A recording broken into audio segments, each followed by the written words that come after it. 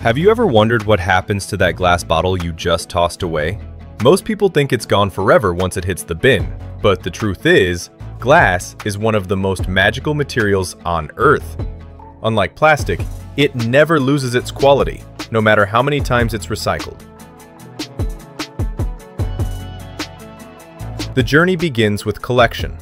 In many countries, people return bottles through special machines that scan, sort, and even give a small refund. From there, trucks haul thousands of bottles to massive recycling plants, where mountains of green, brown, and clear glass wait for their next life.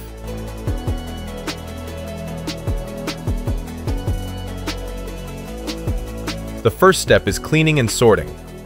Vibrating screens shake off dirt and sand.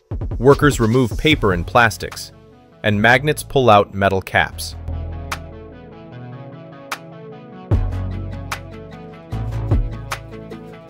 Next, giant hammer mills crush the bottles into sparkling fragments called cullet.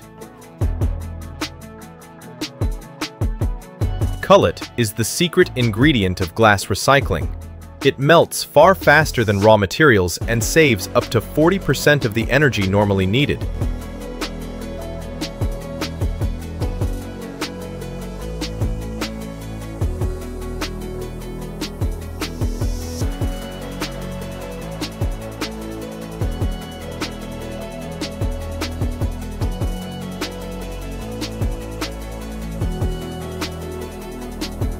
Once perfectly pure, the cullet is mixed with sand, soda ash, and limestone.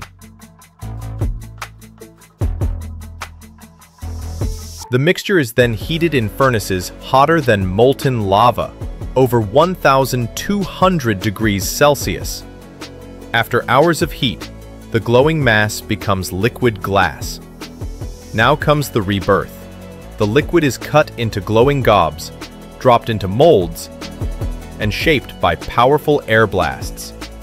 Within seconds, the glass is blown into bottles, glowing red before slowly cooling in long tunnels.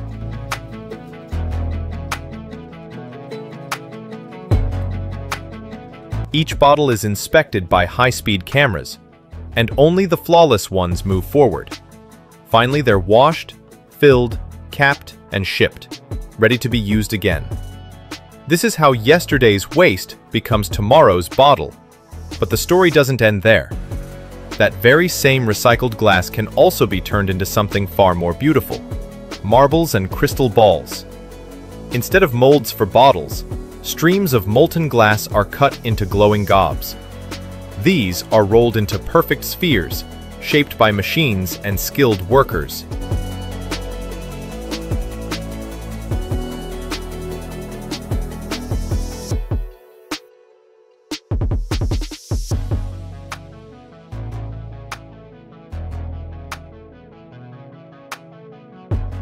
As they cool, the marbles harden into flawless balls of glass. Some are crystal clear, while others are infused with colors and swirling patterns, making each one unique. The final step is polishing. Each marble and crystal ball is smoothed and shined until it sparkles like a gemstone. Then they're sorted, packed, and shipped across the world, used for decoration, games, or even luxury displays. From recycling bins to shining crystal balls, this is the true magic of glass, a material that never dies, only transforms. Glass recycling isn't just about saving energy. It's about proving that waste can be reborn into both function and beauty.